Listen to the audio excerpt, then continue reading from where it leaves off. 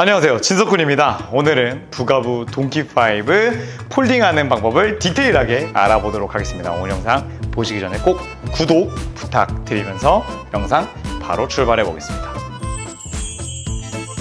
영도 베이비 하우스 부가부 동키5는 쌍둥이 유모차지만 시트가 있는 상태에서도 접을 수가 있는데요. 있는 상태에서 접어 주실 때는 캐노피를 모두 접어 주시고 등받이 각도 조절 레버를 통해서 프레임을 핸들과 나란히 만들어 주시면 됩니다 앞보기 상태에서도 마찬가지로 이렇게 앞보기 상태에서는 더 기울여 주셔서 핸들 프레임과 시트 프레임이 나란히 되도록 세팅을 해주시고요. 혹시 배신의 상태에서 폴딩을 해주실 때는 핸들을 끝까지 다 밀어넣지 마시고 한 두 단계 정도 여유 있는 상태에서 폴딩을 해주시는 게 더욱 쉽습니다.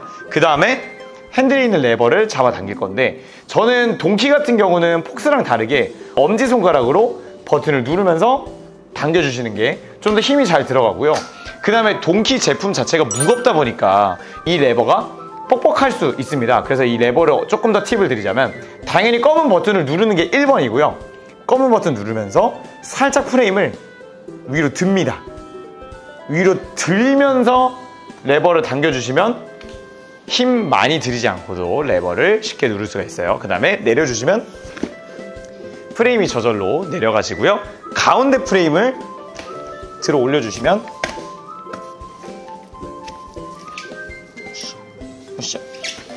이렇게 동키5를 접은 모습을 볼 수가 있습니다. 근데 동키5를 접을 때 조금 더 완전히 compact하게 만들고 싶다. 이럴 때에는 일단 시트를 분리해 주시고요. 동키도 이제 메모리 버튼이기 때문에 버튼 다 눌러주시면 시트를 손쉽게 제거할 수 있습니다. 시트 우선 제거해 주시고 그 다음에 아까 핸들 두세 단계 정도 남겨놨었죠. 다 넣어주시고 이제 모노 모드로 변경을 해줍니다. 모노 모드 같은 경우에는 앞바퀴 쪽과 뒷바퀴 쪽 핸들 쪽에 총 3개의 락을 열어주시고 가운데 프레임에 있는 버튼을 눌러주시면 이렇게 모노 모드가 되죠. 만들어 주신 다음에 앞바퀴의 뒷부분에 보면은 원형으로 버튼이 있습니다. 버튼을 눌러주시면 바퀴가 제거가 되고요. 뒷바퀴 프레임은 이 위에서 봤을 때는 안 보이는데 뒤쪽에 버튼이 하나가 있습니다. 버튼 눌러주시면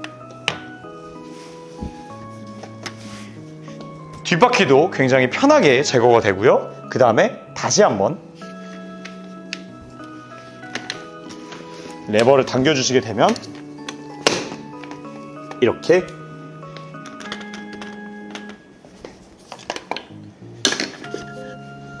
동키의 프레임을 최소화한 모습을 볼 수가 있습니다. 그래서 혹시 이 동키를 싣고 장거리를 가시거나 조금 더 compact하게 보관을 해야 한다라고 하시면은 이렇게 부속품들을 따로 보관을 해주시는 게 굉장히 공간적으로 compact하게 보관할 수가 있습니다. 시트 같은 경우에도 그냥 요 carry handle 부분을 따로 빼서 보관해 주신 것이 더욱 시트를 납작하게 보관해 줄 수도 있는 팁입니다. 역순으로 해보면 프레임은 그냥 들어 올려주시고 프레임은 그냥 들어 올려주시면 펼쳐지게 되어 있습니다. 그 다음에 앞바퀴부터 꽂을 때는 별도로 레버를 조작하지 않으셔도 쉽게 꽂아지는 모습 볼 수 있습니다. 뒷바퀴도 마찬가지로 이렇게 그 다음에 다시 모노 모드로 변경했던 레버를 풀어주시고 저도 보통 밑에 있는 레버들은 발로 해도 쉽게 풀어집니다. 버튼 눌러서 프레임을 열어주시고요. 락 모두 잠가주시고요.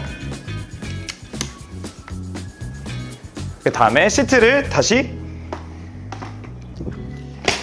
장착해 주시면 언폴딩 완료된 모습입니다. 일단은 동키5 같은 경우는 시트가 껴져 있는 채로 접을 수 있는 부분은 좀 집 앞이나 집에서 간단히 잠깐만 접어 놓을 때 그렇게 사용을 하시고 차에 넣을 때는 동키의 프레임을 좀 먼저 실어주시는 쪽으로 해주시면은 조금 더 작은 차량에도 넉넉하게 넣을 수가 있기 때문에 자동차에 동키5를 싣는 것에 대한 걱정은 너무 하지 않으셔도 괜찮겠습니다. 오늘 영상은 여기까지 하도록 할게요. 감사합니다.